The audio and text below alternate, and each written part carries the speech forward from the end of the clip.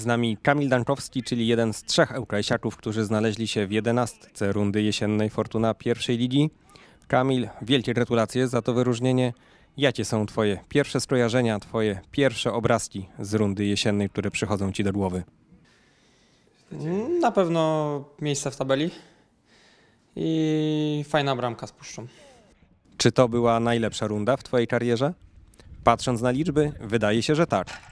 Tak, myślę, że tak. Yy, Patrząc na liczby i przede wszystkim to, że przez ten cały sezon byłem zdrowy, więc to, to, to myślę było najważniejsze. Zacząłeś rundę jako rezerwowy w przegranym meczu, skończyłeś rundę jako podstawowy zawodnik lidera tabeli. Nie będzie chyba nadużyciem powiedzieć, że rosłeś z tygodnia na tydzień wraz z całym zespołem. No tak, no wiadomo jak to przed każdym sezonem był obóz, yy, walka o skład, trener wy, wybrał taki skład, a nie inny. Gdzieś tam musiałem pokazywać się z dobrej strony na treningach i jak dostawałem szansę w meczu, wywalczyłem sobie tą pozycję i co najważniejsze utrzymałem do, do końca rundy. Co było największą siłą ŁKS-u tej jesieni? No myślę, jako zespół. Każdy walczył jeden za, za drugiego. Taki pozytyw i w szatni, i na boisku. Myślę, że te, dwie rzeczy były najważniejsze. Dwie bramki, kilka asyst i mnóstwo udanych zagrań to tylko przedsmak tego, czego możemy spodziewać się wiosną z twojej strony? Mam nadzieję, że ta runda rewanżowa będzie lepsza niż ta, co była teraz pod, pod względem liczb i pod względem wyników.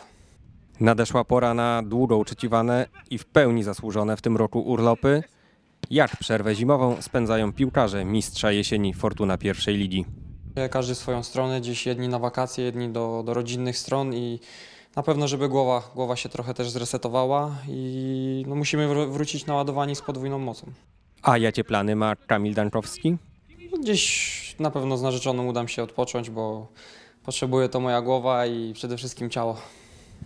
Ty masz ten dodatkowy komfort, że pochodzisz z miejscowości, która jest uzdrowiskiem i co roku przyciąga rzesze turystów. Nie wspominałem, ale na pewno do rodziców się udam na, na większy czas y, urlopu i, i tam spędzę y, wolne. Rozmawiamy w takim czasie, że nie sposób nie zapytać o mundial w Katarze. Kto w tym roku wzniesie Puchar Świata twoim zdaniem? No, myślę, że, że jak nie wiem, myślę większość osób, y, ja stawiam na Brazylię. No. I myślę, że oni, oni tam namieszają mocno i będą walczyć o, o mistrza świata. Cały czas trwa sprzedaż karnetów na rundę wiosenną na mecze ŁKS-u. W jaki sposób zachęcisz kibiców, żeby nie zwlekali z zakupem do ostatniej chwili? Zrobiliśmy co w naszej mocy, jesteśmy na pierwszym miejscu w tabeli, więc myślę, że, że warto przyjść i zakupić ten karnet. Do tej pory masz ciarki na plecach na wspomnienie atmosfery na meczach chociażby z Ruchem Chorzów czy Arką Rdynia?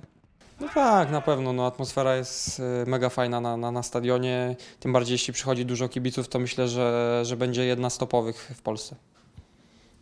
Kamil, udanego odpoczynku i do zobaczenia przy Alei Unii 2 już w nowym 2023 roku.